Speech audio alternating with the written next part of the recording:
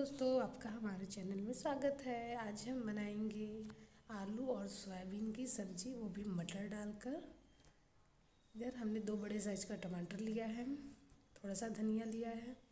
इधर हमने आलू लिया है। आलू को हमने मोटे साइज़ में काट लिया है।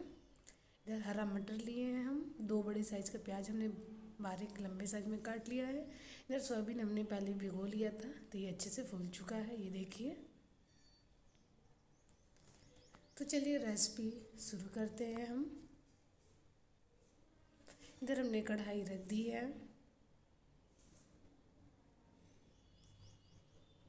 अब इसमें हम डालेंगे सरसों का तेल। दो बड़ा चम्मच हम सरसों का तेल डालेंगे क्योंकि सोयाबीन को हमें भूनना है। तेल को गर्म होने देंगे। तेल गर्म हो चुका है। अब इसमें हम डालेंगे सोयाबीन। सोयाबीन आप बिल्कुल तेल के बीचों बीच में ही डालें, नहीं तो फिर ये साइड में जाता है तो ये चिपकने लगता है। ये देखिए हम पूरा बीच में ही डाले हैं। सोयाबीन को हमें अच्छा गोल्डन ब्राउन भूनना है।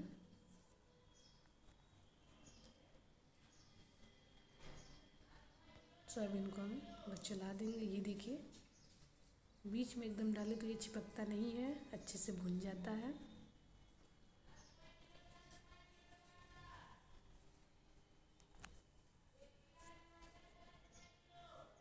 बढ़िया ब्राउन भुनिए इसको। ये देखिए, सोयाबीन हमारा अच्छे से गोल्डन ब्राउन बढ़िया भुन चुका है। अब इसको हम एक प्लेट में निकाल लेंगे। ऐसे ही आपको भी सोयाबीन को बढ़िया भुनना है तो बहुत ही टेस्टी सब्ज़ी बनती है।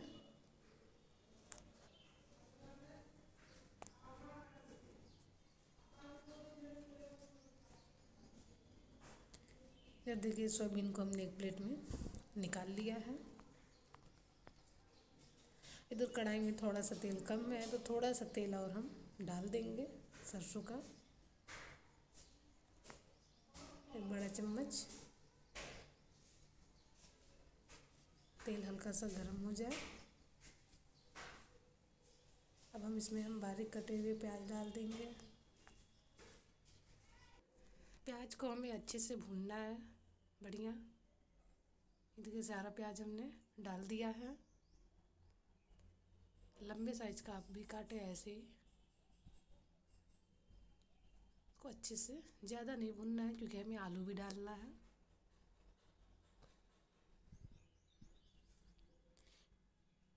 अब हम प्याज को चला देंगे। इतना ही ज़्यादा नहीं भूनना है आपको।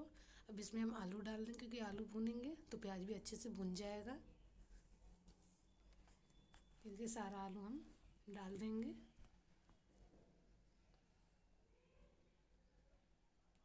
सभी को अच्छे से मिलाएँगे हम।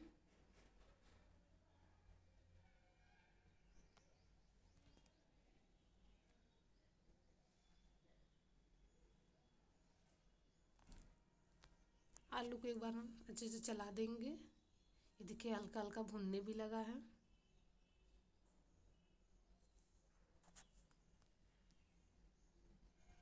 बहुत ही टेस्टी सब्ज़ी बनेगी।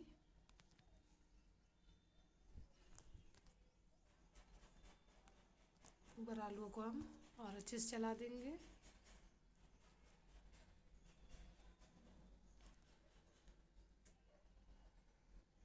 इसके आलू हमारे हल्का भुन चुका है। अब इसमें हम मटर डाल देंगे। मटर को भी हम एक दो मिनट तक अच्छे से भून लेंगे।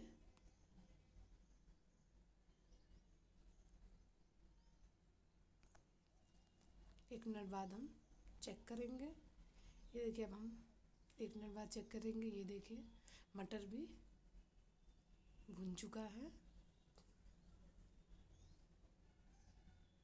आलू, मटर, प्याज सब अच्छे से भुन चुके हैं। अब इसमें हम अदरक, लहसुन और मिर्ची का पेस्ट डालेंगे। एक चम्मच डाल दिए। थोड़ा सा और डालेंगे हम। ज़्यादा तीखा सब्ज़ी नहीं बना रहे। नॉर्मल पर। अगर आपको तीखा पसंद है तो आप थोड़ा सा और एक्स्ट्रा डाल सकते हैं। अदरक, लहसुन, मिर्ची का पेस्ट। सभी चीज़ों को अच्छे से मिलाएँगे।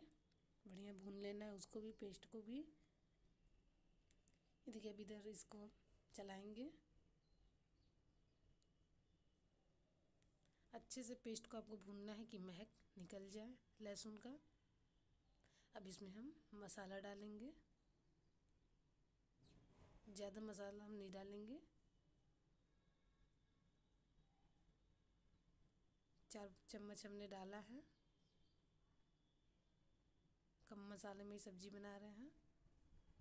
अब सभी को अच्छे से हम मिला लेंगे।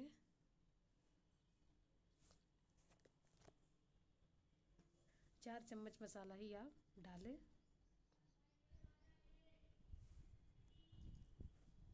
थोड़ा सा पानी डाल देंगे कि मसाला जले ना। मसाला को भी हमें अच्छे से भूनना है।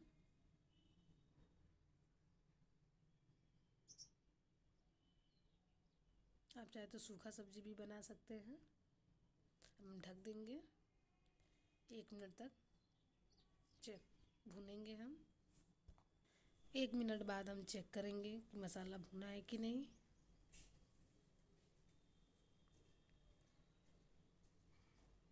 अच्छे से चला देंगे हम।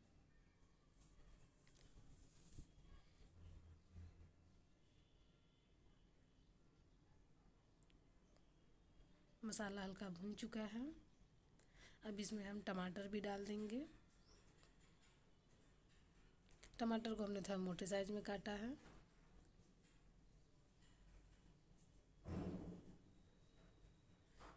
अच्छे से मिला देंगे।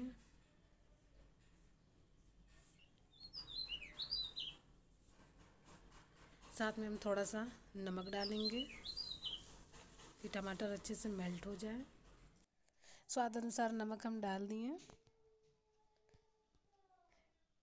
थोड़ा सा पानी डाल देंगे हम। सभी चीज़ों को अच्छे से मिला लेंगे।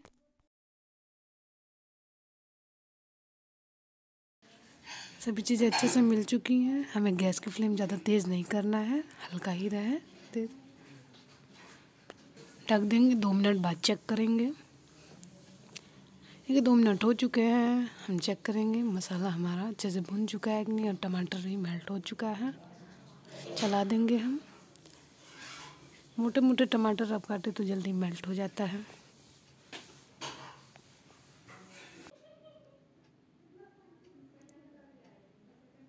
ये देखिए टमाटर अच्छा सा। अभी मेल्ट हो चुका है थोड़ा भी और। भुनना है हमें। गैस की फ्लेम अब तेज कर देंगे और ढक देंगे हम। चेक करेंगे हम। एक मिनट बाद। ये देखिए, मसाला सब अच्छे से भुन चुका है। चला देंगे हम।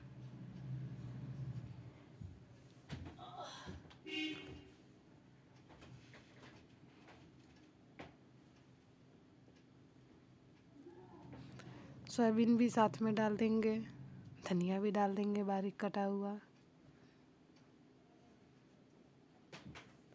सभी चीज़ों को अच्छे से मिलाएँगे।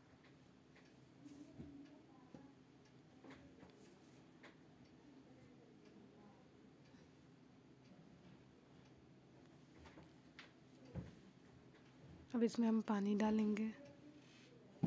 पानी हम ज़्यादा नहीं डालेंगे, सब्ज़ी सूखा ही बनाएँगे।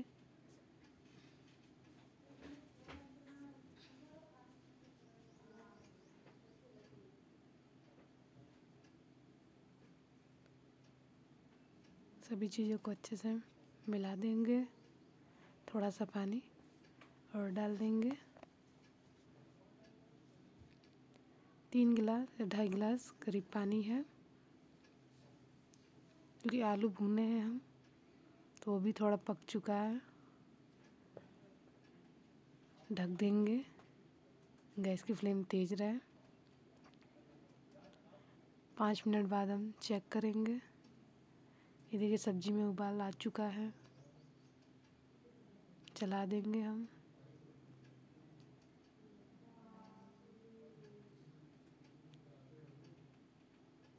थोड़ा सब्ज़ी सूखा ही बनाएँगे।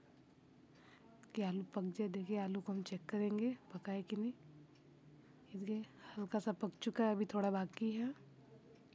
अब गैस की फ्लेम हल्का धीमा कर देंगे, ज़्यादा तेज़ नहीं। ढक देंगे हम। एक दो मिनट बाद हम चेक कर रहे हैं।